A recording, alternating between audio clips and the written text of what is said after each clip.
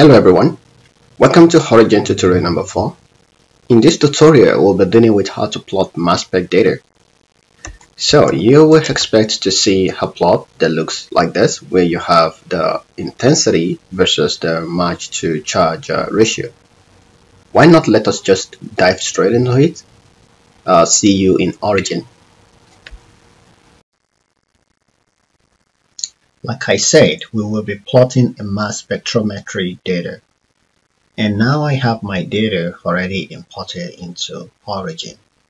So just go ahead and make a plot uh, of the X, which is the mass to charge ratio, and uh, Y, uh, which is the intensity. So we'll go to plot, and we are going to plot uh, scatter in this case uh, we just click OK. So this is in the speed mode. This is something that happens, uh, you know, sometimes in Origin just goes to the speed mode, which I don't really like. So you can turn this off by clicking this uh, running man symbol and it goes back to the normal mode.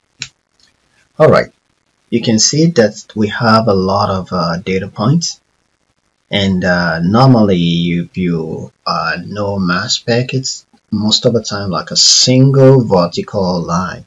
So how are we going to do that? Uh, the simplest way I find to go around this, and this is one of the tricky things about uh, plotting mass spec data, but the, simplest way to do that would be to uh, double click one of these uh, data points. So I double click this and then a window pops up right here so in this uh, window, uh, what I would do would be to uh, go to drop line and then I would choose a vertical since I want my lines to be vertical like the real mass spectrometry data. So I checked the vertical box. Okay. Then uh, I can go to symbol, right? So since I want to only see lines, and I don't want to see uh, symbols I will. Or let me just show you the difference that this will make. I'm going to shrink. Okay um, so if we click apply at this moment we're going to see the line and the symbols. So you can see the lines and the symbols. But we don't want to see the symbol so we can just go uh, to the symbol and check and uh, press this uh, drop down button and then we'll choose none. So click apply and the symbols will be gone. So now our data looks very much like the normal mass spectrometry data. And uh, we have the option of uh, selecting the color of this line as well. I like my line to be red color, so I will just go and select uh, red here. And then I'll click apply and I want the thickness to be somewhere around uh, 2 so it can be visible in my uh, presentation. Alright so this looks fine to me. So I'll just uh, click OK and get out of this. Another important thing to pay attention to is the uh, range of the data. So you can see this is 0 and we are going to negative mass to charge ratio and intensity here is also going to negative intensity value.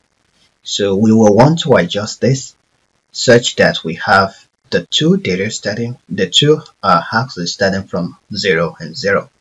So to do that, just double click this box again. and then we should have this box popped up. So you can see starting from negative 100. So we change this to 0 and you do the same thing for the vertical axis you change this to zero as well and you click apply. And now it, it looks uh, cleaner and uh, more reasonable. Alright uh, so why don't we just uh, get up at the moment? And uh, one other thing I like to do to add aesthetic uh, properties to my plots is to um, put a mirror axis. So you can do that by just uh, checking this box or um, or you can uh, do this style. I like to go through this other style because it's much easier.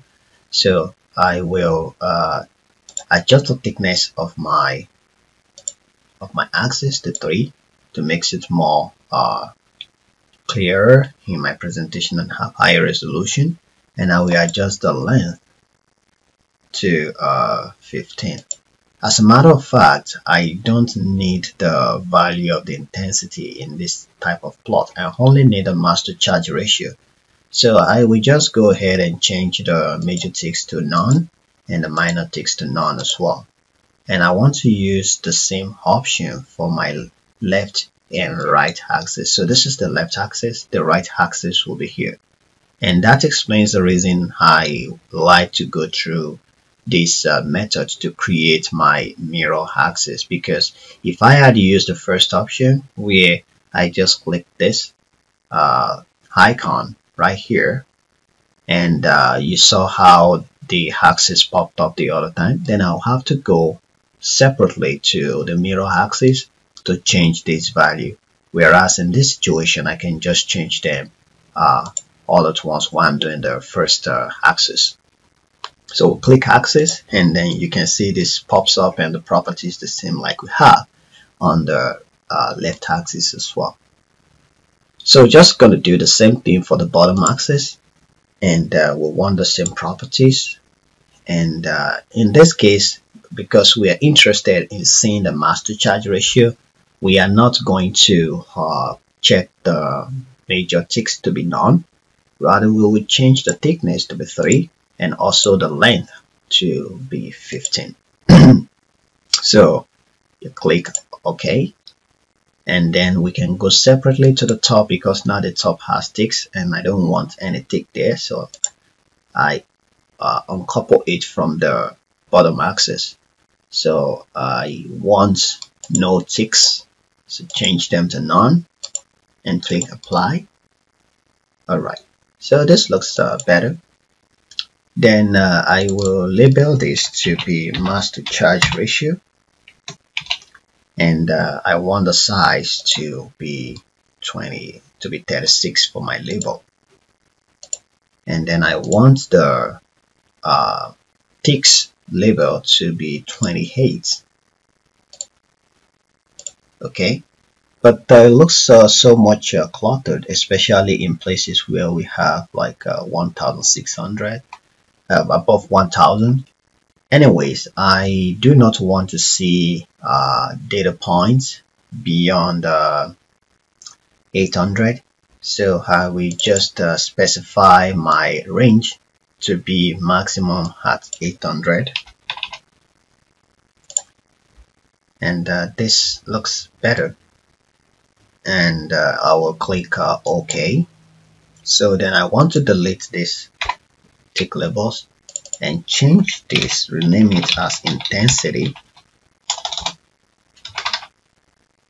And the maximum would be or the, the, the size will be 36 as well. So let's bring this up we don't need a legend in this plot so I will just delete this. Now we have our mass spec data uh, already uh, plotted. So what we want to do next would be to label the values of the mass to charge uh, ratios. So for instance, I know uh, that uh, this is uh, 412 0.21 and uh, to do that like you see I just went to this uh, text tool and I clicked on it. And then you can uh, label. And I know that this is 482 okay.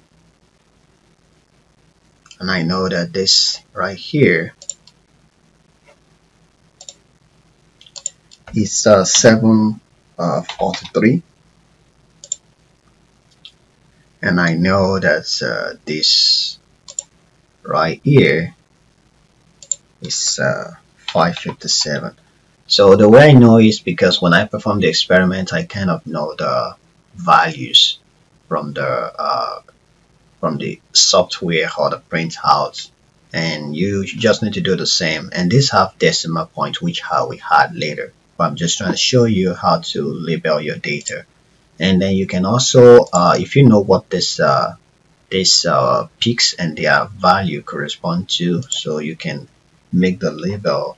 Usually the way I do it is to have the number at the top. And then uh, put the corresponding label above it. For example, if this is uh, maybe copper uh, with a ligand like that, and uh, that is it.